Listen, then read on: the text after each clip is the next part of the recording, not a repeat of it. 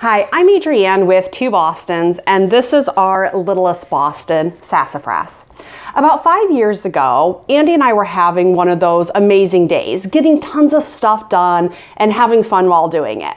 And then towards the end of the day while we were wrapping up, we got a phone call from the Naperville Area Humane Society saying that a little 12 week old Boston Terrier was just dropped off at the shelter. So, of course, we rushed over, met Sassafras, and made the decision very quickly that she needed to become a part of our family. At that time, we didn't realize what this little puppy mill special was going to entail. We had to do a ton of work to get her healthy. You can still see she's super skinny and she's got some other health issues that just kind of come along from with uh, being from a puppy mill. But we have found the key to making her healthier and to make sure that she is living the happiest life that she can live.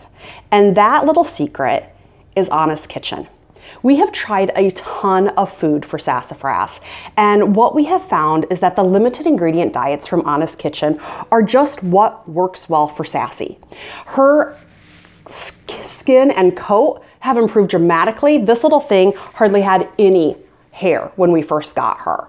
Um, her GI issues are starting to clear up. I mean, the whole nine yards.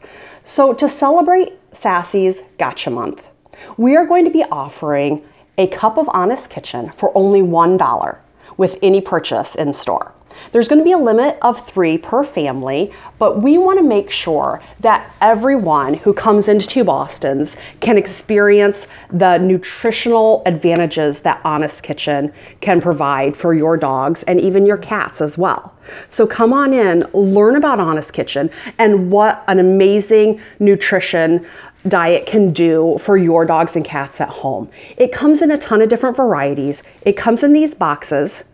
But just to sample it out, these really convenient cups are going to be available just for a dollar this month while supplies last. We really look forward to seeing you and we look forward to celebrating Sassy's Gotcha Month all month long.